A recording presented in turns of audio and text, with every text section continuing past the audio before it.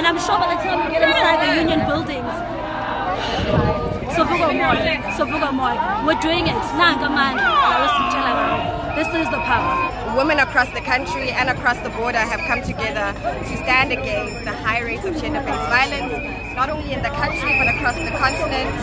When you wake up in the morning, you are not safe in your own house. You're gonna have to get out of the house and go face, you know, a group of men that's walking there and have this anxiety that builds up, you know, decide, do I cross the road, do I not? It's all of this extra work that you have to do just because you're you. I'm here at the total shutdown in Pretoria. I mean, it's important. If you're not here, what are you doing, right? I mean, this is a strong message we're trying to send to society about that. Yo, we're tired of being killed, of being raped, of being assaulted. It needs to come to a freaking end.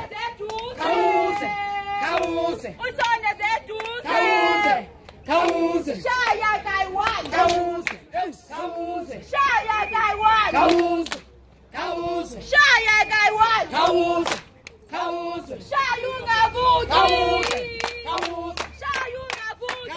Yeah, yo, we're tired actually. We're tired. It's a lot. You know? Um, it's been a long day. And look who's behind us while uh, the lady is checking for the time It's there. 1738 and the police are out here to police our expressions. Out here policing our damn Shut up, come, expressions, you know, keep the quiet, shut whole up. day. But we managed to get through. There's there's a crowd there.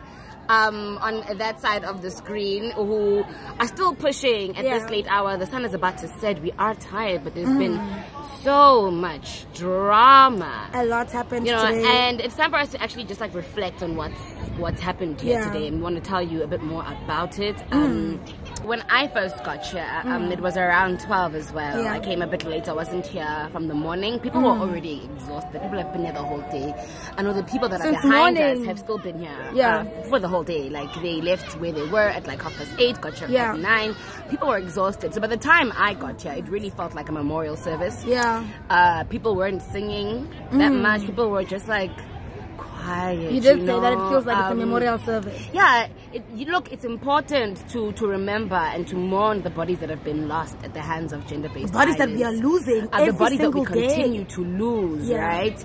Um, but I think for the most part of it, when I got here, it was very much a peaceful protest. Um, it was very much calm, cool, col- like and collected, Yeah. and it was uh, women literally just remembering um, and almost there was like a it was a somber moment when I got here when when people started arriving into the union Mm. buildings it was quite it was quite somber we had no idea of what the program was going to look like there was Yeah. a mic there were four or five were mics stages. stages and we we're like okay how is this State theater stages. how is this going to happen? But all we didn't know was that we're going to hand over a memorandum that's been drafted Yeah. by the, the, the steering committee of Total Shutdown uh, March uh, to be handed It, it was over drafted by to a member many of women, state, right? Because they did put it out for people to put on ideas. Oh yes, there was a call for like you know submissions, Yeah. etc. The program ended haphazardly, and people were like, "Oh, What now? Um, who are we handing the memorandum to? Where's the person? Where's the person? Naledi Pandor comes down to meet us in the Mm. in the crowd in the audience. Naledi, right? don't do that to yourself anymore, girl. Now, Naledi, Let us fight these men. Let's speak about who Naledi is. Naledi is the Minister of Higher Education. Okay, uh, this is gender-based violence. Yeah. Uh, this, this, Yo, this march is about gender-based violence. This march is wow. about women, right? Um, who suffer violence at the hands of men. Yes. Who is our Minister of Women? Bathabile Dlamini. Was she? Where was she? We'll just have to check the Twitter streets for that. She was conspiring quickly. the hijacking of the movement on the other side of the streets. like, uh, guys, you know, I think sometimes they you- were at Luthuli House. I don't yeah, know. they There was were. They, they marched to themselves. Yeah, yeah. They organize the march to protest, to go to themselves. Look, I think but at least they understand start. what the problem exactly. is. They know So that they, they are know the that problem. they're the problem. So that's cool, right? So what happens? The women are like, no, Naledi, we Mm. don't want to speak to, To you. you. Yes, you're a woman. We acknowledge And we see you. But you're not the person that's Yes. that's that's not in your capacity as what, Naledi. Mm. In your capacity as who, Ms. And it Pandor? was like they're neutralizing This the whole not thing by bringing a woman. You know? Yes, of course. Let's neutralize this whole situation and just take a powerful woman uh, who will calm them down. So we demanded the presence of, of course, your president, Mm. Uh, Cyril Ramaphosa. And then we tried we to push the gates down. the gates then. That's Man, when we're like, ah, we organized this is not a amongst ourselves. We're like young black radical because we are women. Izani, let's organize to push this gate and go in like we did the old school way. Yeah. We came there, we pushed the gate. Obviously, the police are countering us, but we know we put our bodies on the line. Of and course, been as we that. always do. As we always, in revolution, guys, you can't come and have a picnic in a revolution. You have to leave, leave a stamp. With us now, there was a protest Yeah. that happened here, and we must respond because Yeah. they were not willing to respond at Of all. Of course, but they were as waiting Busisi for Wesiabi- MEC and then Batamai, As you know? Wesiabe had tweeted that a leaderless movement, Yeah, there was a vacuum. a leaderless movement. So- uh, okay, we'll lead ourselves, Kena, right? Because at the end of the day, it's let's push march. beyond the threshold because let's be honest, uh, the Union Building is a public uh, monument Yes. that has that has that is accessible at any point in time. Why there are about eight entrances to get towards going up to the actual Yeah. Union? Why are we being blocked by one, one gate? gate. one gate. hayi sangena thina ke Yeah, sathi five sambe other ngena gates. ngenye igate ke we're like, okay, shut Hayi, up. sahamba sangena ngenye Let's not do the crowd mentality thing. yes Let's go. no but they dealt with us let me tell you what happened at the gates which really troubled me so much you know how the police when they push you and all of that and then there were other women who were also pushing us the one that pushed me on her face Oh no, those are the not even police, organizers of Total Shutdown. of the organizers Guys, who pushed uh, my face together with the policemen you know and they formed other a women, human chain to they formed a protect, human- to the, protect the, men police or, or to protect the patriarchs. But of course, they're going to say that's not what they actually did, right? What they did was they were protecting us from, From the, the police. police. I think they were facing the wrong direction. yes We'll give First you images foremost. of that. first and foremost yeah. you know, because majority of the people that march today are young women, mm. and a good margin No, of them are nice follies. intergenerational mix, I think. you No, but the majority were still young women. Okay, but I think the, the older women could not be missed. Yes, definitely. No, no, no. no, Like, no, no, definitely. Not even that. Not even that they were there. We saw them on the women corner. from We were together. life, yeah. You know, even some Yeah. of our colleagues were here. Um, because there's a lot of work that people have put into this feminist movement. Yeah. against gender-based violence altogether who have come you know who are here etc but hi let's just thank them for their presence yeah, and also, you know, I think for more than anything, it's this whole thing is opening a very much needed conversation amongst us as black women, as women, as trans women, and queer women. Just as the woman collective in South Africa, which we must clean up our house as well. You know, to know what is really with each other. You know, because when we're confronting patriarchy, but we have small uh, tensions amongst us, then it derails us. You know, we want to be able to be free and to be trustworthy of each other and to trust each other as well. I don't want to feel like my body and my pain is going to be sold to the highest bidder. You know, when I come to a protest to fight and say I'm being raped or I'm anxious and I know that somebody's been killed. In fact, during the protest, somebody got raped in the country. Mm. Let's think about that. Mm. During the whole protest, there is a woman who got killed. Mm. That's how serious this thing is. And we need to get to a point where we all understand that. And the seriousness of this, and also seeing Wuti, there's other political things that are going to try to capture us and all of those things like they did with Fis- like they do with all movements and we should be wary of them and be vigilant at all times I think we were let down a bit by the organizing here in Gauteng because when you look at examples of what's happening across the country, look at KZN, right? The women, the cops who are women in KZN were marching with yeah uh, uh, the protesters, right? Here, what we have are men who are the riot control, whatever Yeah. police. Who, who are saying Wang Phillies guys the cop told me Kamu harassing people during protests. wow wow a woman protest and but we know this. They, they know this. We told them your cops harass us. These are the people we are also fighting. Ukuthi mase report ama rape cases they ask us what were you wearing? They ask us why are you so drunk? And you send the very same people to come and control our anger. Yeah.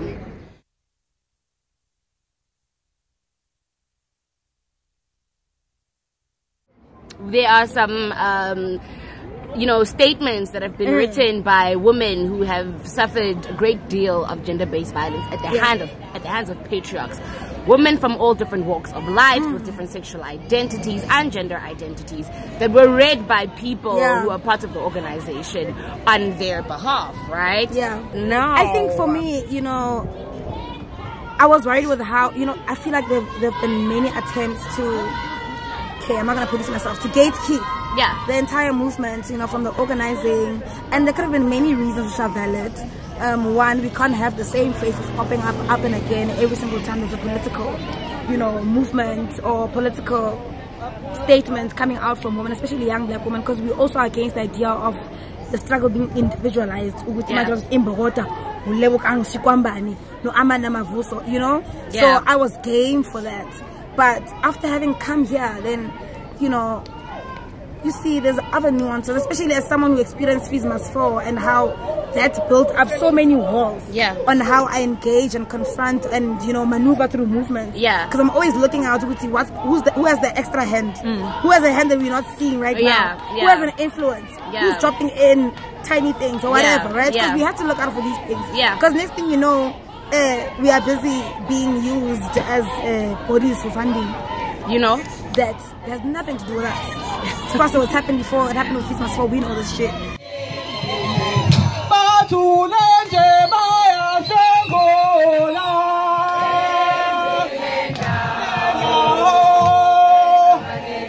esekuyo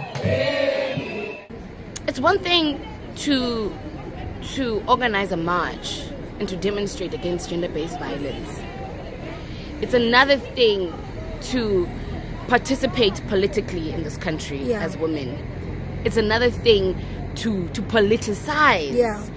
violence against women right i mean the the the conversation around land in this country Yeah. and women could have been brought in Yes. because the fact that it's women who work It's not just farms, a social issue, this thing. It's a political issue. it's a political economic issue, you know Yeah. the fact that there are women who work on farms that Yeah. most of uh, uh, the farmers in south africa are women women are the, are the farmers are the ones who are working the We make field, 70% of the world's food production. but are paid but the you know do you get what i mean Yeah. but how much money goes back to those women mm. right like who gets paid more etc etc Yeah. for me that's also a form of gender-based violence you It know definitely it, is. It, it, for me it's, it's not a consequence that at this current moment the men in the country or those that are concerned with the big national questions Mm. are discussing land while women are discussing the safety of their bodies Yes. right I, I don't see those issues to be i don't think those issues can be separated completely They shouldn't. so They for me shouldn't it's one thing to coordinate a protest Yeah. but it's another thing to make a meaningful political Because what I what I gather from this is that total shutdown should definitely be a protest movement moving on from now that covers a whole lot of other agendas that women have in the country. You know, we can't just leave it at this, and I hope the organizers are gonna definitely pull something through. We need this month to carry us and to give us momentum. You know, because we know how the country thinks with Women's Month. Let's use that against them and actually make it our month and our year for the rest of the year for the rest, until we get shit done. Yeah. Because we can't leave it at this. We are desperate for freedom. We are desperate for liberation. We are desperate. We are literally desperate, and we can't leave things hanging like this. I want to congratulate uh, the organizers of Total Definitely, Shutdown definitely. for bringing uh, such a group of women Yo, no, together immobilization niyenzile under bafethu. one name, Power to right? Under power one bracket. And I'm also a bit celebratory and glad Yes. that I didn't see, you know, uh, people wearing their regalia, Regalia. so much, right? e clean beret ya leo e clean. Le lore spiritually ra itse re e ngwetse eng but e clean beret. Huh, Mugel? E ring empty beret mo ngwaneng. It's e re- e e re- empty parrot. E ring empty beret mo ngwaneng. Kitsine- Anyway, guys, join the conversation online on Twitter, on Facebook, and on Insta. We're gonna do live videos for you guys uh, soon enough. Um, the hashtag is hashtag unpoliced the expressions. expression. But the police is still there. But we will not allow anybody We will police your expressions. How ironic, right? The police are yet to police, Police our expressions, of course. The police but our so are some of the women Yes, that's true. We are here. We'll deal with that in the second part. We're here. we need to deal with women who are policing people's yes, expressions. Yes. At a protest where we're supposed to be expressing ourselves. Yes. But constantly policed because we are your black feminists. Problematic faves. Erasers. we love you. Papaini. Don't. Don't police my expression.